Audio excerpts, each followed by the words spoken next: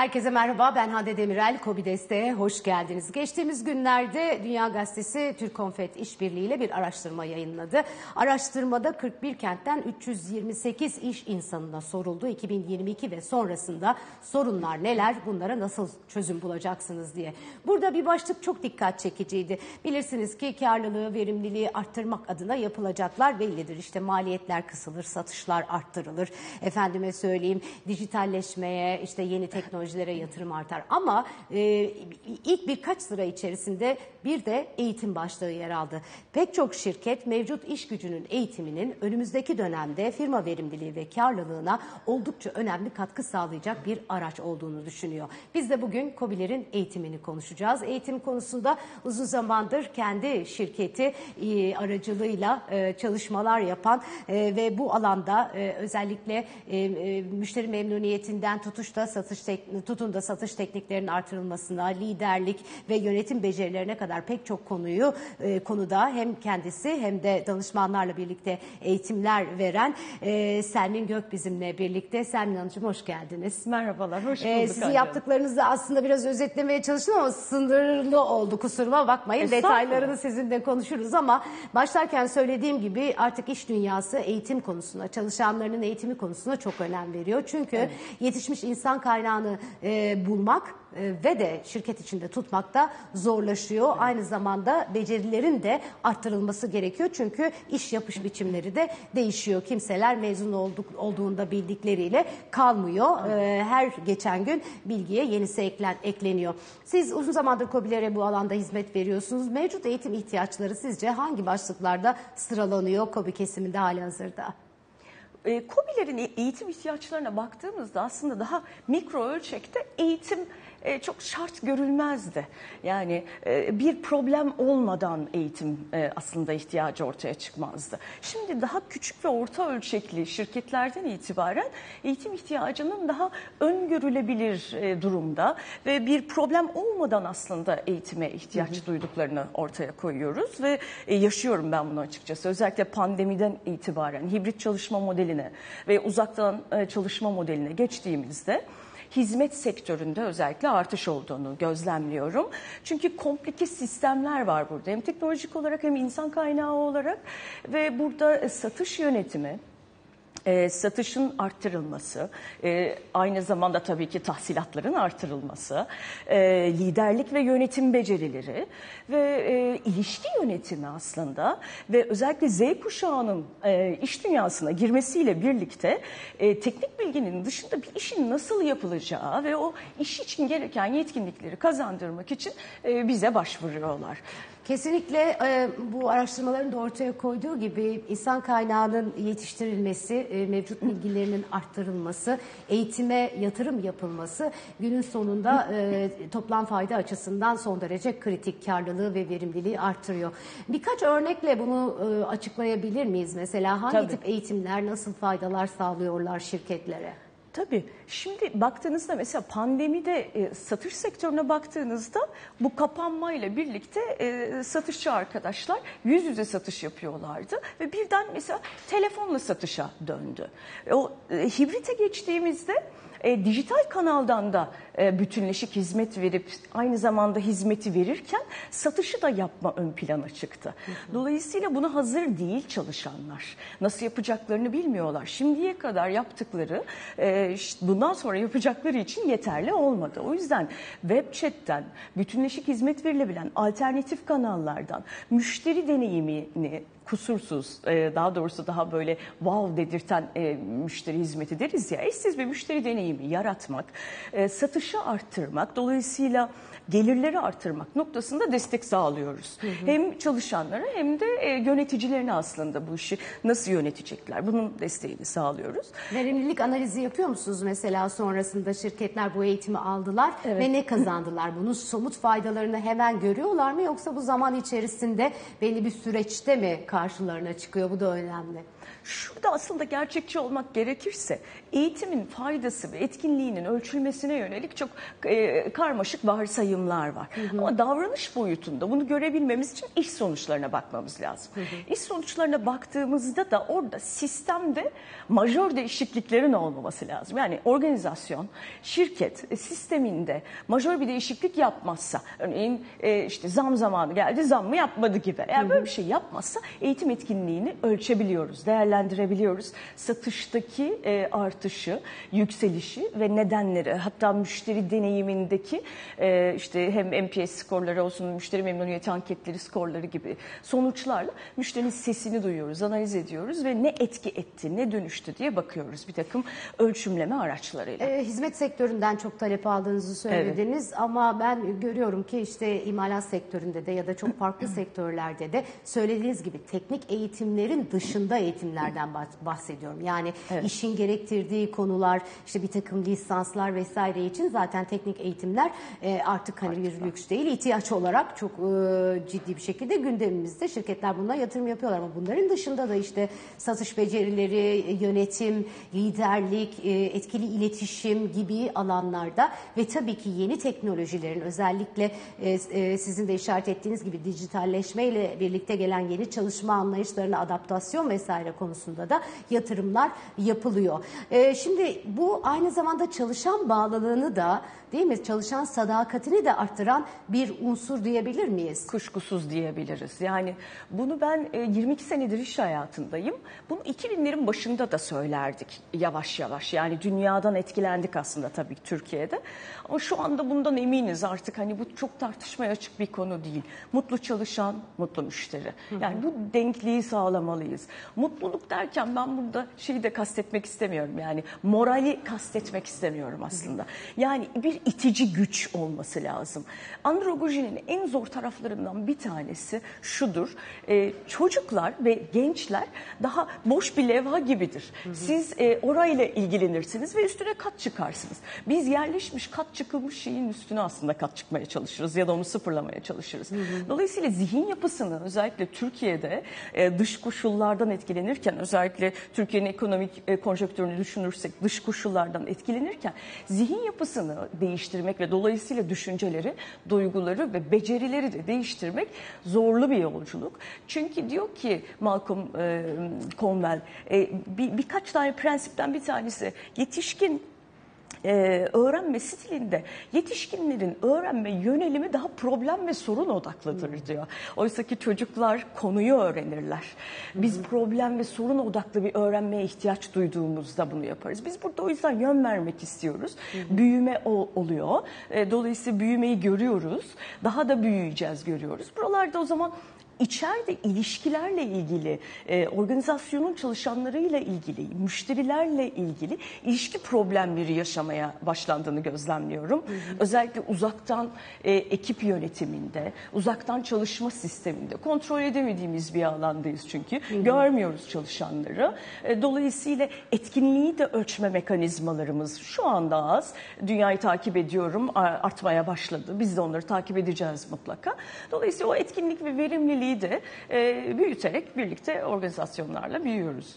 Şimdi eğitime yatırım belli ki önümüzdeki dönemde daha da artacak çünkü ihtiyaçlar da çoğaldı. Yani evet. en temel olarak baktığımızda neden e, eğitim alıyoruz? Çünkü belli sorunları sizin de söylediğiniz gibi ya da belli e, meydan okumaları gerçekleştirebilmek adına. Ha konuştuğumuz gibi aslında hiç bunlar olmadan da aslında bunlara karşı hazırlıklı olabilmek adına eğitimleri en baştan yapabilsek çok daha iyi. Peki geldiğimiz noktada e, bu e, müşteri sadakatini arttıran, şirketlerin karlılığını ve, ve verimliliğine e, katkı sunan eğitimlere ne kadar yatırım yapmak gerekiyor? Çünkü e, nihayetinde bu da bir yatırım. Yani evet. bunu bir insan kaynağı yatırımı olarak mı okumak gerekiyor? Yoksa organizasyon yatırımı olarak mı e, okumak gerekiyor? Şimdi büyük şirketler mevcut bütçe çalışmaların içerisinde mutlaka bunu koyuyorlar ama daha küçük, daha orta orta ölçekli şirketlerde bu daha yeni yeni başlayan bir alışkanlık diye düşünebiliriz. Belki dünyadaki örnekleri de kıyaslayarak bugün neredeyiz bu noktada? Yeteri kadar yatırım yapabiliyor muyuz eğitim konusuna ve nereye doğru bunu e, çekmek e, ihtiyacı var? Siz biraz önce çok güzel özetlediniz aslında. Bugün organizasyonlarda eğer e, COBİ'ler açısından baktığınızda hı hı. eğitime yatırım yapmazsanız büyük ihtimalle yaşayacağınız sorunlar çok belli. Bir, e, geliriniz stabil kalacak. E, iki, turnover'ınız, iş gücü devir e, oranınız artacak. Şu anda eğer hani Z kuşağı açısından baktığımızda e, organizasyonlara e, çok ciddi bir rekabet var e, çalışanları elde tutmayla ilgili. Dolayısıyla çalışanı elde tutmak için e, çalışanın öğrenme, bilme ve kendini gerçekleştirme ihtiyacını da karşılamalısınız.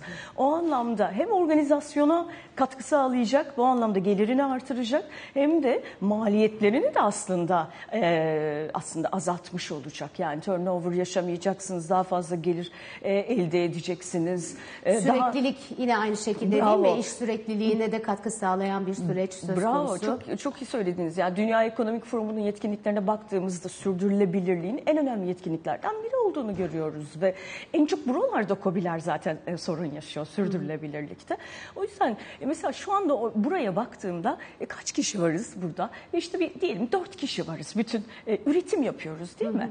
Yani dışarıdan bir beşinci kişi gelse ve bu şu anda bizim üretimimize baksa ne kadar iyi olur değil mi? Bir dış göze ihtiyaç var. İşte o biz o sisteme bütünsel olarak bakma konusunda uzmanız. Şimdi şöyle e, söyleyen e, patronları duyar gibiyim bizi izlerken. İyi de ben elemanlarımı yetiştiriyorum, onlara bir sürü yatırım yapıyorum, masraf yapıyorum, oradan buradan şuradan uzmanları buluyorum, getiriyorum, eğitiyorum, öğretiyorum, sonra gidiyorlar. Bunu e, buna nasıl bir cevap vermek lazım? Böyle e, bir durumda söz konusu mu veya bunu aşabilmek adına ne yapmak lazım? Yani gidiş nedenlerinin analizini yapıyoruz mesela danışman şapkamızla. Hı hı. Ee, insanlar niye bizi terk ediyorlar? Ee, büyük oranda baktığımız zaman insan kendini değerli ve önemli hissetmek istiyor. Hı hı. Eğitim bunun en önemli araçlarından bir tanesi. O bacağı tutuyoruz bir kere.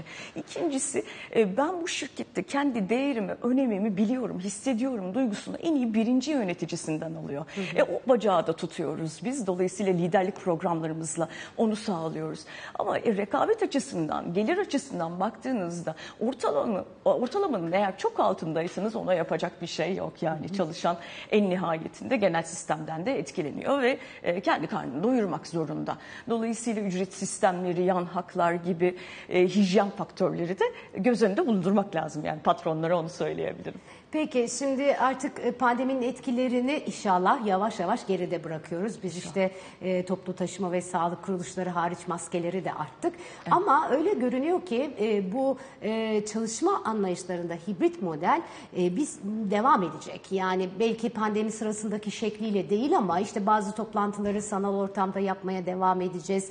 Bazı iş alanlarında ofislere dönüş varken bazılarında belki hiç dönülmeyecek. Dolayısıyla bu iş yapma modeli modelleri aslında tüm e, şirketimizin e, çalışma anlayışına da etki edecek. Yani işte satış e, yöntemlerimizden tutun da e, işte e-ticarete yaptığımız yatırımları vesaire. Dolayısıyla yeni dönem için pandemi sonrası bu yeni dönem için özellikle hangi alanlarda eğitime yatırımın artması gerektiğini düşünüyorsunuz? Bence rolden bağımsız yani bir kere beynin çalışma prensiplerine baktığımızda multidisipliner olmaya doğru gidiyoruz ve bu kadar dijitalleşmenin içerisinde multidisipliner olmak durumunda kalıyoruz. Ve orada Harvard Üniversitesi'nin yaptığı bir araştırmaya göre yaptığımız iki işten bir tanesinde dikkatimiz orada değil. Dolayısıyla hani bu mindfulness konusu çok gündeme geldi ya bu dönemde. Mindful olmak da aslında dikkati oraya vermekle ilgili ve burada bir dünya sistem çalışıyor. Düşünce sistemi, duygu sistemi, beden sistemi. Dolayısıyla bu sistemlere bir holistik bakış açısı yapmak ve orada çalışanların gelişim alanını tespit edip oraya bakmak lazım. Yani nasıl e, multidisipliner oluruz, nasıl e, dikkati, fokusu toplarız ve odaklanabiliriz, odaklanma kabiliyeti. Tabii ki duygusal zeka e, son 20 yıldır daha çok konuşuyoruz elbette. Duygusal zeka parametrelerinde çok iyi olmamız lazım. Yani bu bize e, müşteriyle ilişki ilişkilerde, birbirimizle olan ilişkilerimizde, e, işbirliği oluşturmamızda, yani bütün o sebatımızda, empatimizde yani hepsinde lazım olacak. Dolayısıyla duygusal zeka parametrelerinin gelişimine ihtiyaç var. Özellikle Türkiye'de bunun üzerine çok odaklandığımızı belirtmek istiyorum. Herhangi bir müşteriye giden yanlış bir cümle bambaşka bir etkiye neden olabiliyor çünkü. O da olmadan biz devreye girelim istiyoruz. Özellikle bu iki yetkinliğin altını çizmek istiyorum. Tabii ki liderlik becerileriyle birlikte işe liderlik, kendime liderlik ve ekiplerime liderlik. Ee, aslında liderlik konusu e, pek çok kademe için son derece kritik önem taşıyor. Çünkü lider deyince biz sadece en üst düzey liderlikten bahsediyoruz ama ekiplerimizi ve söylediğiniz gibi kendimizi bile aslında e, yönetmemiz, e, kendi kendimize e, liderlik yapmamız gereken bir dönemdeyiz. Çünkü çok fazla etken var e, bir arada. E, fokuslanmamız gereken, odaklanmamız gereken çok fazla konu var ve bunların hepsine e, gerçekten e, verimli bir şekilde odaklanabilmek için aslında sizin söylediğiniz gibi odak konusunda e, çalışmamız lazım. Peki yeni dönemin yine de liderlik vasıflarını özetlememiz gerekirse hangi başlıkları sıralamalıyız? Küçük tüyo verelim buradan sizlere. Küçük tüyo verelim. Yani liderliğin çok tabii parametresi var bu dönemde ama ben e, şunun altını çizmek isterim. E, yine duygusal zekanın, ilişki yönetiminin altını çizmek isterim. Muhakeme yeteneğinin altını çizmek isterim. Yani analitik olma konusunda sebep sonuç ilişkisi yapıp sentezleyip oradan aksiyon üretme konusunda gelişime ihtiyacımız var gözlemlediğim kadarıyla. Tabii ki e, vizyoner olma yani gelecek vizyonunu ortaya koyma, onun hayalini oluşturma, kendini ve ekiplerini oraya e, doğru yöneltme ve bunun için e, çok somut, spesifik, stratejik aksiyon planı oluşturma demek istiyorum. Stratejik aksiyon planı ne demek? O gelecek vizyonuna beni götüren, e, şirketi götürecek, organizasyonu götürecek aslında adımlarım ne olacak? Buraya bir yol haritası nasıl çizeriz? Bunların altını e, özellikle çizmek isterim. Peki ya satış tarafı için hangi sihirli cümleleri söylersiniz? Ben satışı artık müşteri deneyiminden Hande Hanım ayrı görmüyorum. Ayırmıyorum artık burayı. Çünkü zaten satış ayrı bir şey, nosyon değil. Müşteri deneyiminde aslında çok iyi bir etki yaratırsanız zaten müşteriler sizi takip ediyorlar, devam ettiriyorlar. Siz çok rahatlıkla ikna oluyorsunuz tabii ki. O yüzden orada müşteri deneyiminde yine o ilişki yönetimine tabii ki bütün o teknikler, taktikler çok önemli ama samimiyet çok önemli. Hakikatli olmak çok önemli. Onu ortaya koyup teknikleriyle birleştiriyoruz biz. Yani ne ve nasıl bilgisini birlikte e, birleştireceğiz ve teknikleri de onlara e, öğretmiş oluyoruz aslında. Peki e, günün sonunda aslında hepsinin ortak noktası müşteri memnuniyeti diyoruz. Evet, yani doğru. işte e, günün sonunda sağlamaya çalıştığı şirketlerin mutlu müşteriler, memnun müşteriler yaratmak ve bu memnuniyeti de daha büyük kitlelere taşıyabilmek. Peki yeni nesil müşteri nasıl memnun oluyor? Yeni nesil müşteri Çünkü bir yeni nesil müşteri de var baktığınız Var, zaman. işte biraz var. önce Z kuşağı dediniz. İşte Evet. daha öncesine göre daha farkındalığı yüksek, çok daha kolay bilgiye ulaşabilen, işte rekabetin yoğun olduğu bir ortamda alternatifi çok daha rahat bulabilen bayağı sofistike bir müşteriden bahsediyoruz. Sektör bağımsız söylüyorum. Her sektörde müşteri gelişti artık öyle değil mi? Bravo, aynen. Aslında burada e, şunu söyleyebilirim, bir ipucu da buradan verelim. Biz aslında bu ihtiyaçlar kavramını ele alırken müşteri deneyiminde, müşterinin mutluluk faktörlerine baktığımızda görünmeyen ihtiyaçlarını tatmin ettiğimizde müşteri aslında memnun oluyor. Bugünün müşterisi ürünü, hizmeti direkt olarak sunan ve hani çözümü sunan tabii ki somut göstergeler çok önemli. Yani oradaki hız, işte ne bileyim sağlam bir ürün teslim aldınız ya da bir kargo şirketiyle çalışıyorsunuz. Oradan hasarsız ürün aldınız, iade satış sonrası hizmetleriniz çok iyi, iade sonrasında iade değişim falan gibi satış sonrası hizmetlerde bir problem yaşamıyorsunuz. Buralar çok önemli. Ama çalışanlar açısından baktığımızda müşterinin aslında alt okumasını yapmayı e, öğretiyoruz biz ve paylaşıyoruz. Alt okuma derken müşterinin görünmeyen ihtiyaçları, duygusal ihtiyaçları nelerdir? Onun okumasını birkaç cümlede yapabilecek profesyonellikte satış uzmanları geliştirmek istiyoruz ve buraya hizmet ediyoruz. Harika. Çok e, derya deniz e, konular e, ve Selmin Hanım e, bu alanda e, çok deneyimli profesyonellerden bir tanesi. Eğitim çok önemli ve daha da önemli olmaya devam edecek. E, duygusallığı önemsemek, e, müşteri ilişkilerini önemsemek, çalışanların memnuniyetini ve bağlılığını önemsemek yeni dönemde başarının anahtarı da olacakmış gibi görünüyor. Sevgili Selmin Gök'le birlikteydik. Bir kez daha çok teşekkür ediyorum. Ben de çok teşekkür ediyorum. Ee, efendim herkese iyi bayramlar diliyorum bu vesileyle. Bayramdan sonra yine Cuma günü aynı saatte Bloomberg HT ekranlarında görüşmek üzere. Hoşçakalın, sağlıkla kalın.